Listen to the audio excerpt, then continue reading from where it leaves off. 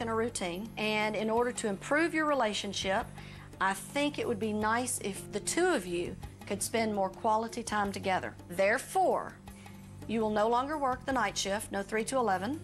Okay? You're going to work days. Okay. And that way it'll kind of give you a little taste of what it's like to be a real part of the day to day family life. On the topic of equality, some things are offensive, and for the rest of my stay, the Mammy cookie jar goes in the cupboard. I'm still just a little. I'm a little stunned. That's little expected. In That's shock. expected. Your tone of voice and some of the things you said were completely inappropriate. Okay. And where does uh, Sue keep her checkbooks? In that drawer. As far as the rules go, I'm pleased. This is going to be good.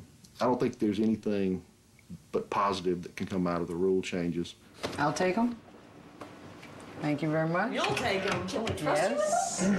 Yes. Give them to my dad. Nope. Why? Because Dad. Is a pushover. Dad has his own checkbook. Dad said it. Dad's a pushover. Here's your TVs. Come take a look, see what you think. I surprised myself tonight because I felt this kind of rush of um, power, for lack of another word. The ironic thing about all of this is that this hasn't been just a rule change for Carl and the kids. I think it's the beginning of a rule change for me. I'm learning something here about myself that maybe I didn't know was there. Coming up, Shelley discovers